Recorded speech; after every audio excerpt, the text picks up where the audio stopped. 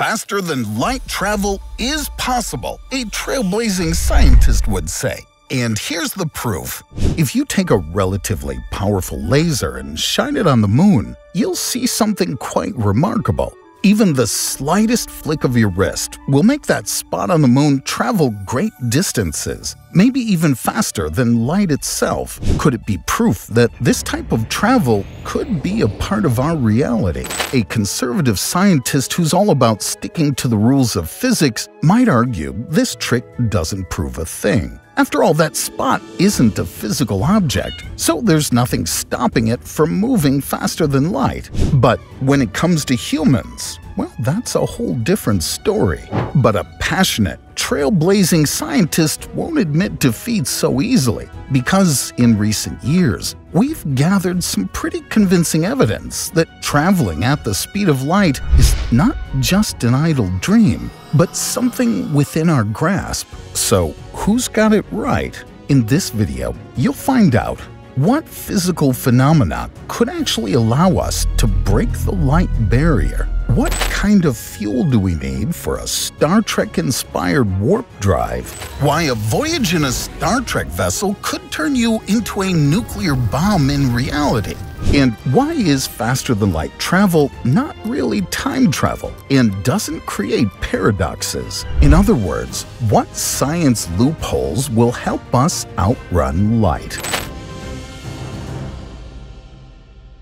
Albert Einstein's theory of relativity states that the speed of light is a limit that nothing can surpass. But if you still want to give it a shot, let's recall Einstein's formula.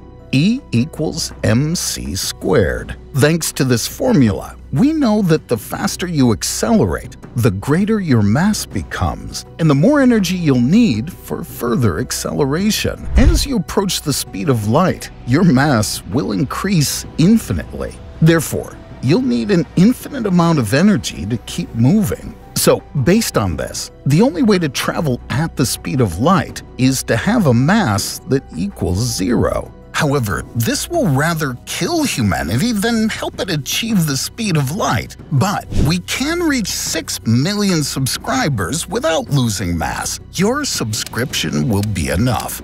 But hold on. The trailblazing scientists suggest taking a look at Galaxy GN Z11. We know it took the light from the galaxy 10 billion years to reach Earth. That means it's situated 10 billion light years away from us. However, with Galaxy GN-Z11, things aren't quite as they seem. The light needed 13.4 billion years to reach Earth, and yet the actual distance separating this galaxy is 32 billion light years away from us. How's that even possible? So, did Galaxy GN Z11 outpace light and manage to move 18 billion light years further? The mass of the entire galaxy surely can't be zero, but the conservative scientist is quick to object. It's not the galaxy that's outpaced light, but rather the expansion of space itself between us. Since the universe has been expanding with acceleration for the past several billion years, galaxy GNZ11 has drifted much farther away from us during that time. In other words, mass still remains a major problem. Though, in reality, we're not composed as much of mass as we are of energy. If we look at an atom, nearly all its mass is concentrated in the nucleus, which consists of neutrons and protons. They in turn are made up of quarks, which have mass. However, if you add up the mass of the quarks in one atom, it'll be much less than the mass of the entire atom. So, where does the rest come from?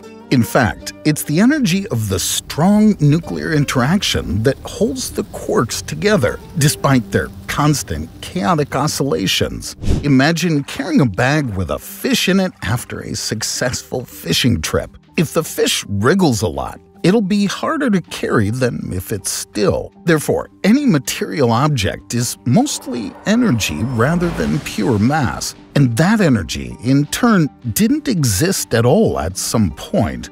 Picture a space where all particles have no mass and move at the speed of light. That's how the newborn universe was. But as the temperature gradually dropped, particles began to cool and condense. It's like when you drive in a cold car during winter. The vapor from your breath cools down and condenses on the glass as water. Except in the universe, it happened on a much grander scale. This phenomenon is called the Higgs condensate. I can already hear the trailblazing scientists suggesting to decondense this field to get rid of Einsteinian speed limits. Do you think we should consider it?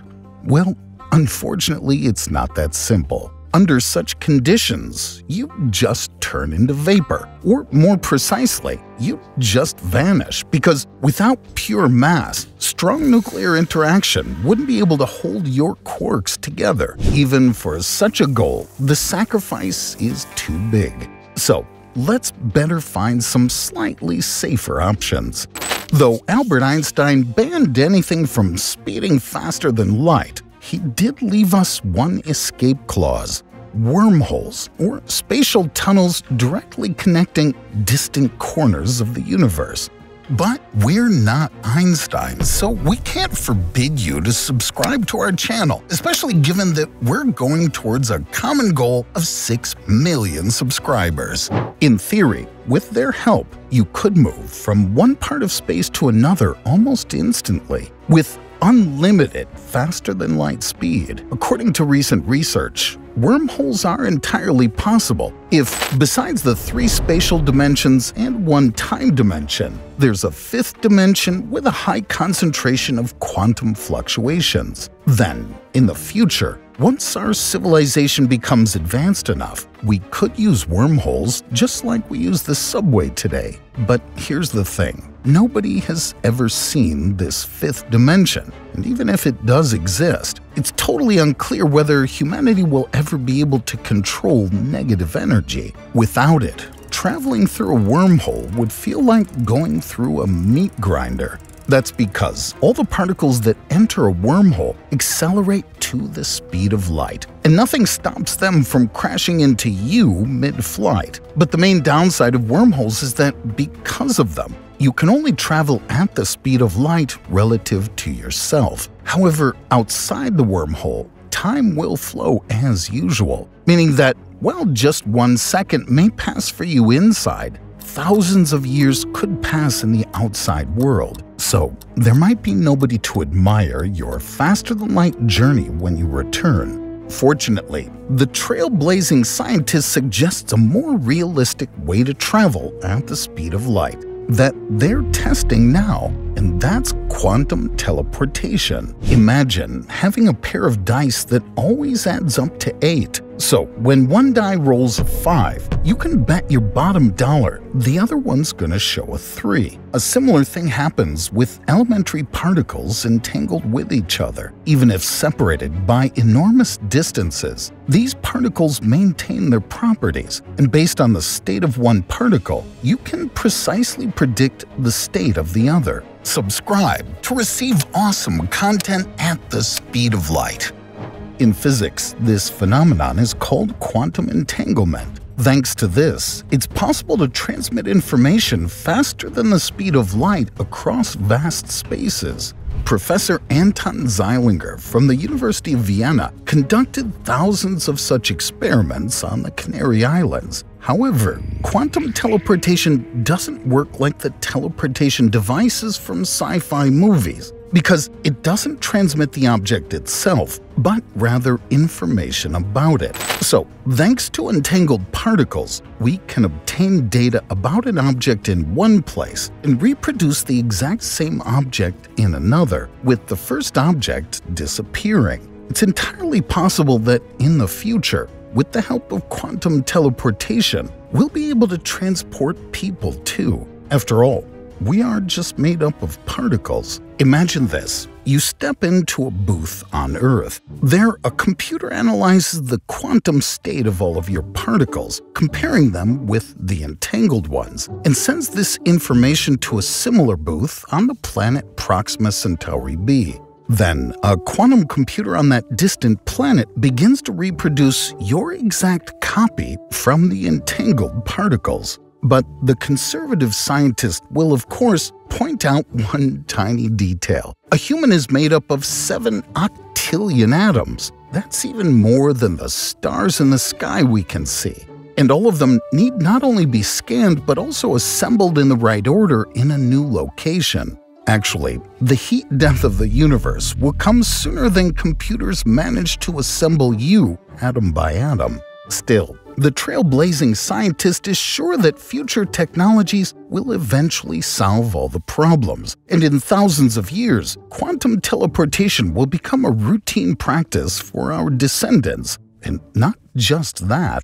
Does that sound too far-fetched? Not for the Star Trek-inspired physicist Miguel Alcubierre, who back in 1994 proved the opposite by crunching the numbers to create a real warp drive, just like on the Starship Enterprise. According to Alcubierre's vision, this device would consist of a central zone with a stable space where the passengers would be. Behind them, space would expand, pushing the central part forward, while ahead space would contract and pull it, kind of like a wave carrying a surfer. This way, people in the central stable zone would accelerate to the speed of light and even surpass it. And most importantly, a device like this doesn't go against the general theory of relativity, so it's very likely to become a reality in the future. But here comes the conservative scientist, skeptical of the whole warp drive idea and eager to bring us back to Earth right from the start. Scientists calculated that the energy needed to launch a warp drive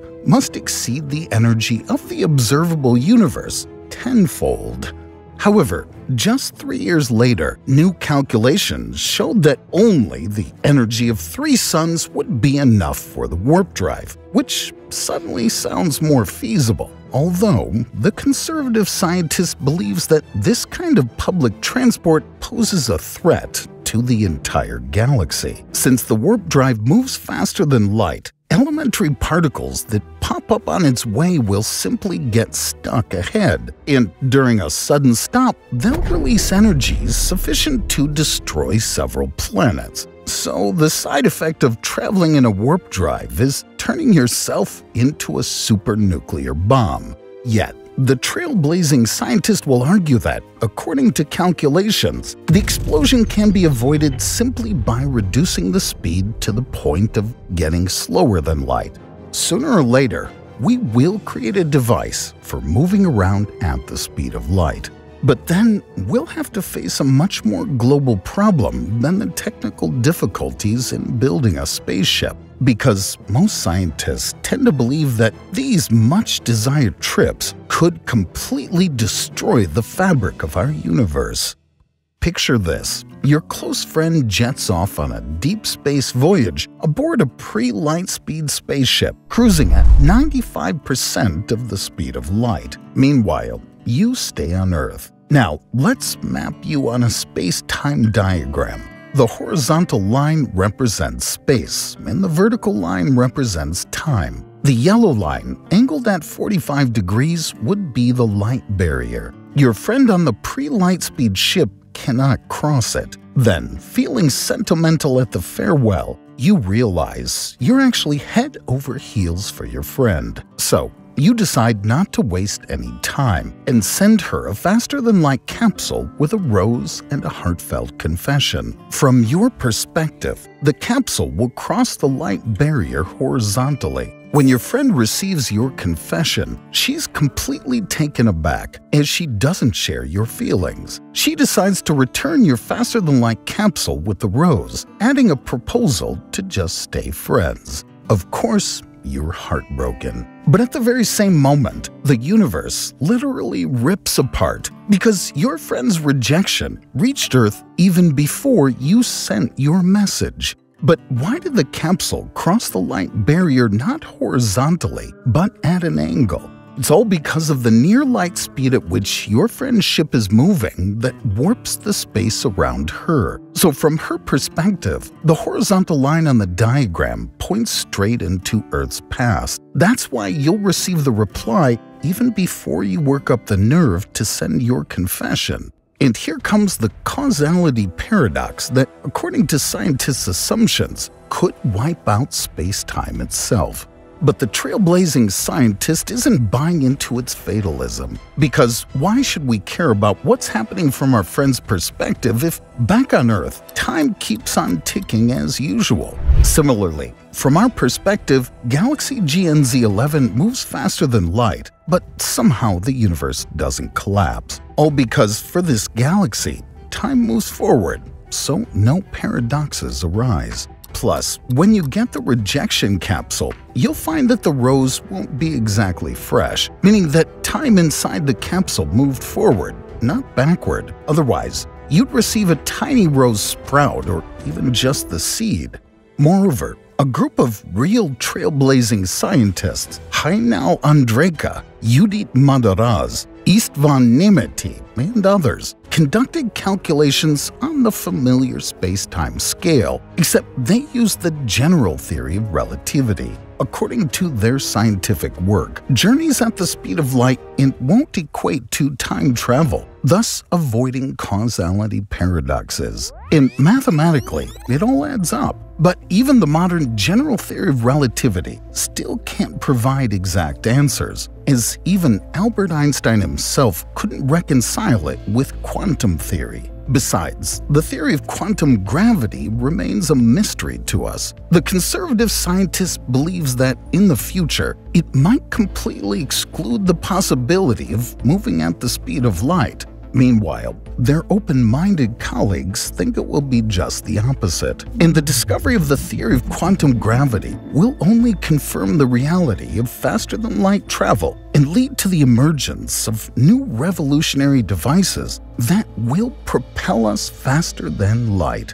Interestingly, there is evidence that such technologies already exist, just not here. The Pentagon has been releasing videos of suspicious unidentified flying objects for years. What is known about them for sure is that they move incredibly fast. The situation escalated when, during congressional hearings in July of 2023, U.S. Air Force officer and former intelligence officer David Grusch openly claimed that all these objects are definitely of extraterrestrial origin. And if they are indeed spaceships built by other civilizations, their scientists have undoubtedly mastered faster than light travel in one form or another. Because that's the only way to cover thousands of light years between stars quickly enough. Could all these observations be a signal to us that moving at the speed of light is possible and that we shouldn't give up? So, what do you think? Will faster than light travel ever be more than just a pipe dream for humankind?